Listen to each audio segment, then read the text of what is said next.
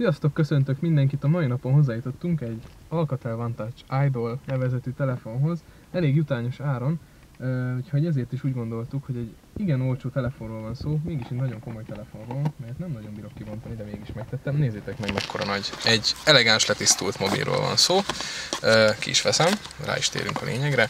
Egy minimalisztikus HD kijelzővel, HD kamerával, 8 megapixeles kamerával felszerelt 4,7 szolos eszközről van szó, mely Android 4.1-et futtat gyárilag, és egy, egy gyárilag átdolgozott romról van szó, látjátok milyen gyönyörű, egy ilyen lehúzásra kész is van. IPS kapacitív kijelzője van, tehát gyönyörű szép. Tehát ezt, ezeket a színeket valószínűleg a kamera nem tudja átadni, de nagyon jó. Oldalt láthatóak a hangerőgombok, ezen az oldalon pedig bizony egy SIM 2 áll. Na most miért van itt SIM 2? Azért, mert itt van SIM 1 is.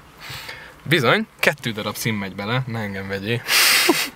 Itt látható, hogy kettő darab térerőnk is van, ha lehúzom pedig látom, hogy egyszerre két hálózaton egyszerre tudok jelen lenni, tehát két hívást is tudok fogadni. Természetesen van benne wifi is, meg minden egyéb, ami egy alaptelefonhoz kell, viszont ezben az árban nem találkozunk 4,7-szoros kijelzővel, úgyhogy LTE képes a telefon is, tehát 4G LTE kapcsolat is lehet, ami 100 megabit per kapcsolatot biztosít számunkra.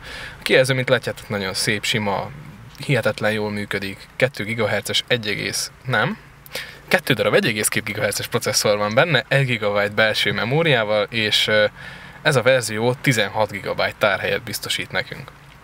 Tehát elég sok programot tudunk egyszerre futtatni rajta, és elég jól. Igazából fizetős alkalmazások is vannak rajta gyárilag, mint például a SwiftKey 3, amit az előbb mutattam meg nektek, ha megbírom.